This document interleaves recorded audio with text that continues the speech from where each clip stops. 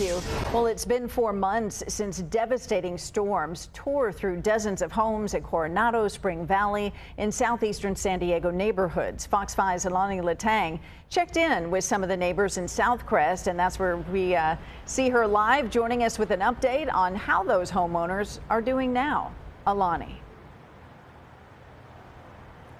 Kathleen, a lot of homeowners say they're depressed because it's they've been out of their home for four months. It's an uncertain feeling for them. But coming back to Beta Street here in Southcrest is like little mini construction sites, and that's because a lot of the homes are not being lived in. They're either boarded up or they're completely cleared out and they're being worked on. Now we caught up with two of the homeowners that I talked to back in January, and they say it's been a long and tough road, but things are starting to look up slowly.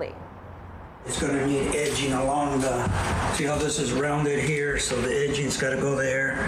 I'm beginning to see light at the end of the tunnel now. Greg Montoya has lived in this Southcrest home on Beta Street for 30 years, but he's now rebuilding with the help of flood insurance after the January 22nd storms left his home gutted out. It's been very stressful for me because of the fact that uh, I've used a lot of my sick vacation time at work. You know, after work, rush here to get material and keep keep moving. The January 22nd storms flooded the Chollas Creek behind his home. Quickly after, all the homes on Beta Street were under five, even six feet of water.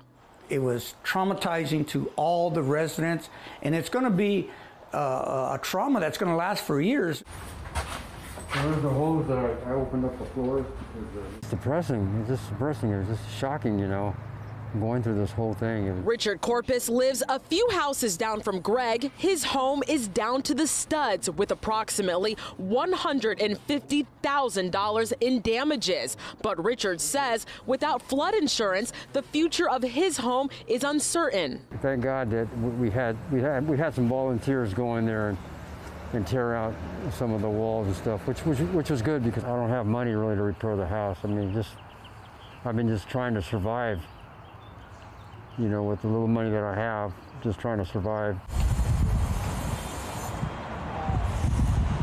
And the reason the flood happened was because they ignore this area. They don't give the resources that are needed, even though they've received numerous reports about storm system being inadequate. Greg and Richard have been living in hotels for the past four months. They and more than 300 people are a part of a $100 million lawsuit against the city of San Diego. The suit alleges the city failed to maintain and increase funding for stormwater infrastructure, but neighbors want the city to act now ahead of the next rain.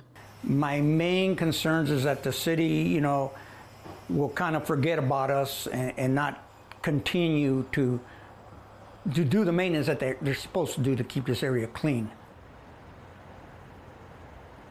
Greg Montoya has sued the city in the past over the 2018 flooding. The two settled on a, a certain amount, but uh, the main lawyer on this lawsuit, Evan Walker, says that more people are signing onto this lawsuit. So if you're someone that's been impacted by this flood and want to learn more about the lawsuit or learn more about some of your legal options, we'll have a link posted on our website at fox5sandiego.com. Reporting live in Southcrest, I'm Alani Letang, Fox 5 News. All right. Thank you for the status report from there. Still ahead on Fox.